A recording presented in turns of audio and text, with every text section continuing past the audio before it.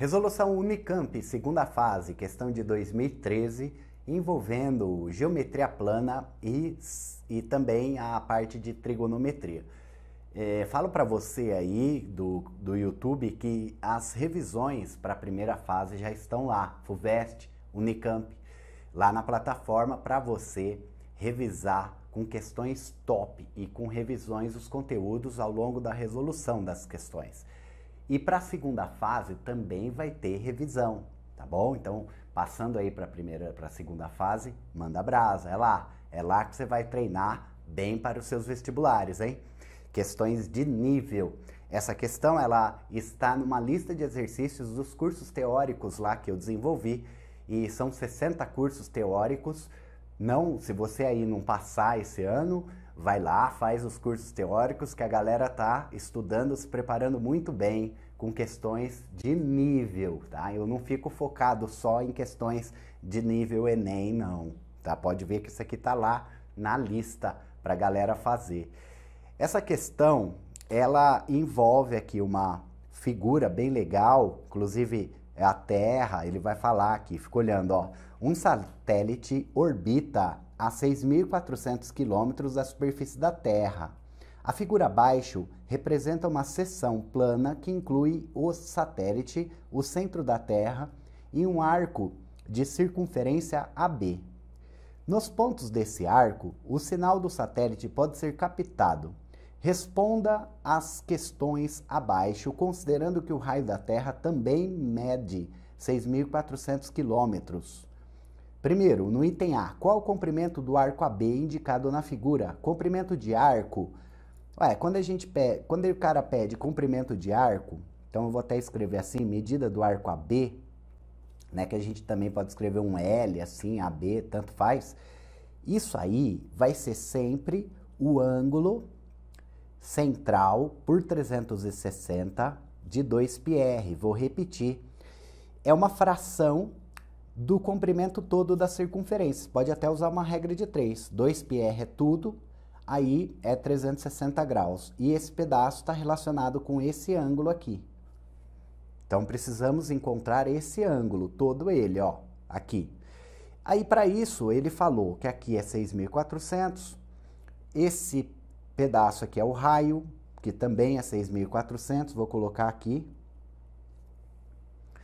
e tá mais fácil a gente olhar para um triângulo retângulo aqui, veja, ó, 6.400, BS, que seria o satélite, daqui até aqui, é tangente, né, porque é 90 graus aqui, e aqui seria uma hipotenusa. Eu vou até destacar esse triângulo ali, vou escrever novamente, aqui é um cateto, aqui é outro cateto, aí é hipotenusa.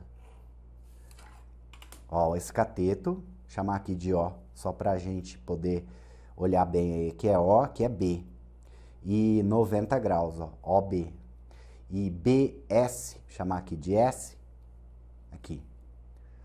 Então, o que, que a gente tem? A gente tem OB, 6.400. Temos também o valor de OS, tudo isso. OS é hipotenusa, é 12.800, né? 6.400 mais 6.400, 12.800. Eu preciso desse ângulo que eu vou destacar de vermelho, esse aqui. E esse ângulo vermelho e o de lá também são iguais, percebe? Aí a soma dos dois vai dar o azul que eu preciso para calcular esse ângulo alfa, que seria tudo. Beleza? Para jogar aqui na relação e encontrar esse arco AB. E esse ângulo vermelho é um ângulo SOB. SOB, é esse ângulo aqui de cima, ó. Eu vou chamar esse ângulo de beta tá bom? Então aqui é beta, aqui é beta e o alfa será 2 beta. Belezinha. Para encontrar esse beta, a gente pode usar aqui um cateta adjacente sobre hipotenusa. A gente pode fazer um cosseno de beta, cateta adjacente sobre a hipotenusa. Olha lá, como 6.400 é metade de 12.800, né? Então vai dar meio isso então, cosseno igual a meio, a gente sabe que o beta será 60 graus. Cosseno de 60 é meio. Logo, o alfa é 120 graus. Com a medida do alfa, a gente encontra a medida do arco AB. Aí fechou. que vai ser é, alfa 120 sobre 360, vezes 2π e o raio. O raio aí dessa, da, da, desse arco, né, vai ser 6.400 mesmo, que é o arco da, na superfície terrestre. Então, a medida do arco AB será igual a 1 terço de 2 vezes 64, ele vai dar 128, 12.800 pi. Então a resposta fica assim mesmo, ó. Medida do arco AB é igual a 12.800 pi sobre 3 quilômetros. Isso aí é a resposta. Inclusive, nas revisões para a segunda fase, eu falo como é que você pode escrever lá. E no final desse vídeo, eu vou mostrar para você a resolução dos candidatos que a Convest disponibiliza um, um scanner assim das provas dos candidatos com as letras dele. Vou mostrar para você como é que foram feitos esse item A e esse item B. Agora o item B eu vou fazer numa outra folha que aqui não tem mais espaço, tudo bem? Vamos lá. Ó, item B. Suponha que o ponto C da figura seja tal que o cosseno de θ é 3 quartos. Determine a distância D entre o ponto C e o satélite. Aqui, essa distância D que ele pede, do ponto C até o satélite. Aqui é o O, eu vou colocar novamente, S. OC é o raio, 6.400.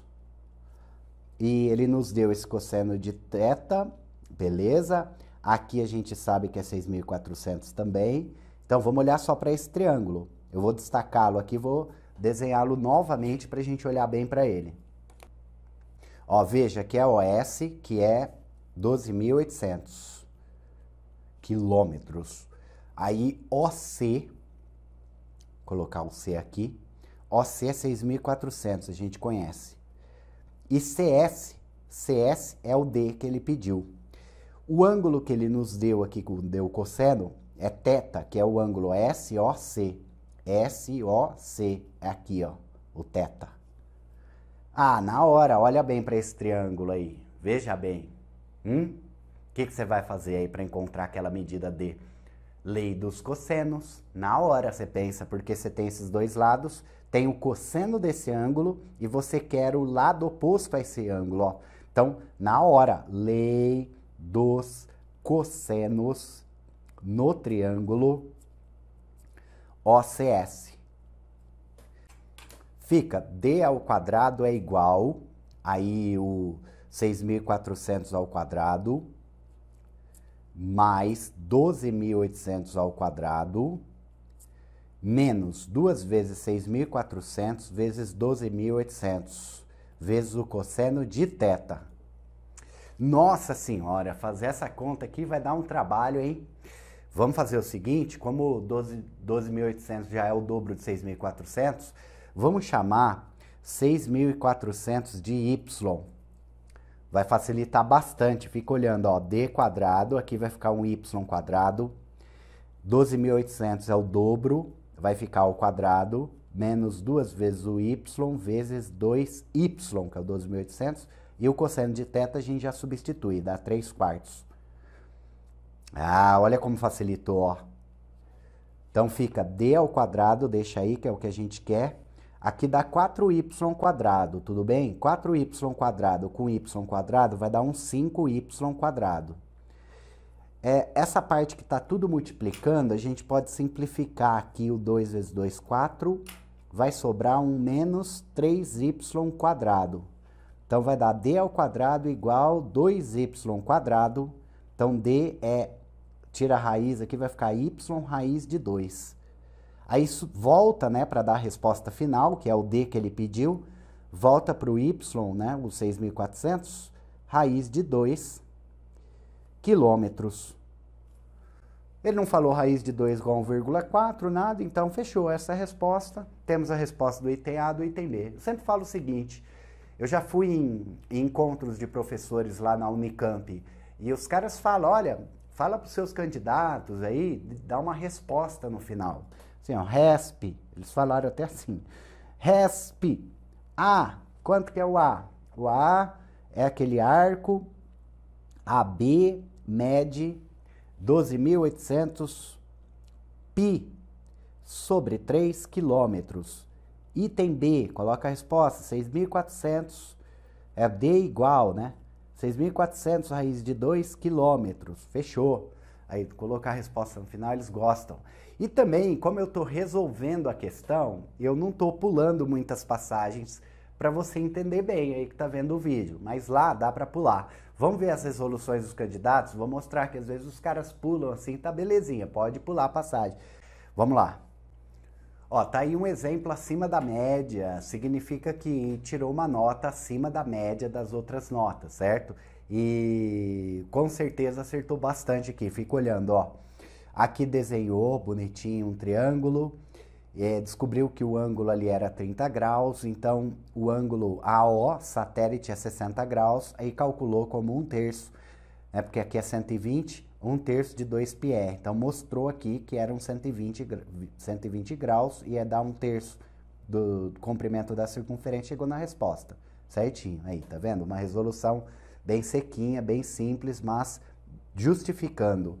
Aqui a pessoa, no item B, fez um Pitágoras primeiro para encontrar a distância D que ele pediu. Aqui está mostrando, está meio ruim para enxergar, mas um Pitágoras aqui nos, com 1.600 raiz de 7, porque descobriu a partir daqui. Então fez aqui uma, um outro triângulo, descobriu e já jogou, né? Não mostrou muito bem da onde que veio esse 1.600 raiz de 7. Mostrou na figura, mas mostrou as contas. Então talvez não tenha tido nota máxima nessa resolução. Mas está aí, chegou na resposta também. Vamos agora ver um exemplo abaixo da média. Aqui a pessoa no item A chegou, comprimento da Terra, 2πr, calculou tudo. Depois o arco AB é um terço do comprimento. Ó, não justificou por que é um terço, não mostrou que dá um ângulo de 120 ali e tal, já foi falando direto que era um terço e acabou. No B, fez uma lei dos cossenos, igual eu fiz, só que se perdeu na hora de calcular. Olha só o tanto que deu de conta, ó. Né? O ideal seria chamar de Y. Essas manhas aí eu passo todos os meus vídeos aí nos meus cursos, aqui no, no YouTube, no, ao longo dos vídeos e também lá na plataforma. Então você precisa ter essas, essas jogadas assim para facilitar a sua resolução. Olha o que ele fala aqui, é uma consideração da banca. O candidato não justifica porque o comprimento do arco AB é um terço do comprimento da circunferência no item A e erra nas contas da lei dos cossenos. Aqui vai errar também com os números desses aí. Beleza? Tá aí então, resolução Unicamp, segunda fase. Se quiser fazer um teste grátis, vai lá na plataforma, no site, vai na parte lá das mensagens, manda uma mensagem para mim. Ah, eu sou inscrito lá no seu canal, gostaria de fazer um teste grátis aí na plataforma, ver como é que estão os cursos tal. Dá uma olhada no conteúdo dos cursos, os exercícios que eu escolho para resolver as dicas que eu passo no vídeo. Olha, tem muita gente aí bem preparada para as provas desse ano. Já temos aprovações aí já na SpaceX. Beleza? Vamos lá. Se curtiu, dê um like e se inscreva no canal. Obrigado.